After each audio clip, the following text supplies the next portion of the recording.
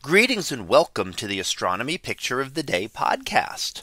Today's picture for October 7th of 2024 is titled The Long Tails of Comet Tsuchinshan Atlas. So what do we see here? Well, this is the comet known as Tsuchinshan Atlas and has recently been discovered this past year and also recently then even more recently passed closest to the sun and passed passing closest to the earth very shortly. And what that means is that it is going to be a comet that is prominent in the sky.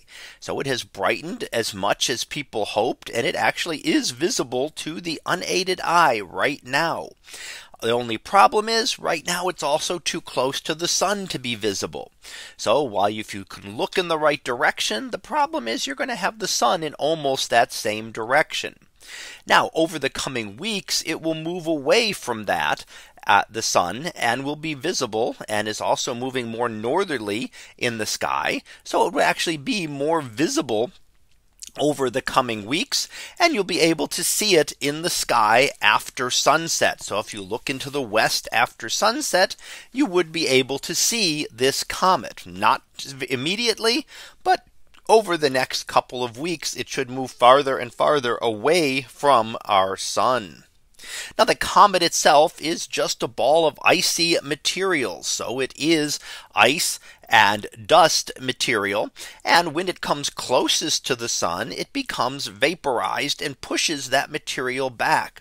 So the sun vaporizes material off the head of the comet, which is only something a few kilometers in size.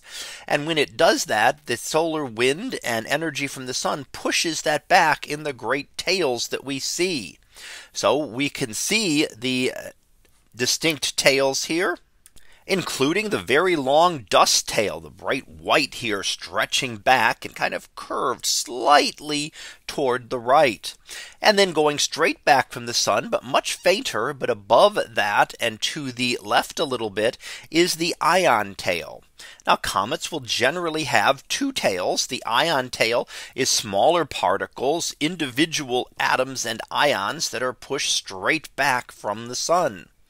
The dust tail, on the other hand, lags a little bit behind the comet in its orbit. These are slightly heavier particles, more molecules and things that are slightly heavier and will lag behind as the comet moves. So you can see that very slight curvature to it caused by the motion of the comet. Now those will hopefully continue to stay as impressively bright as they are now and will be able to be seen over the coming weeks. Now this picture that we're looking at was actually taken a little bit earlier. That was when the comet was in the morning sky and it is now transitioning into evening. So that means it's going to be very easy to see after sunset over the coming weeks. So a chance to see a very prominent comet coming up. Just don't look for it quite yet as right now it's really close to the sun and the brightness of the sun will of course overwhelm that and the comet will have set even as the sun gets farther below the horizon. So that was our picture of the day for October 7th of 2024.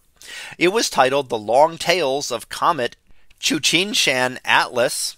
We'll be back again tomorrow for the next picture previewed to be circular sunspot. So we'll see what that is about tomorrow. And until then, have a great day, everyone.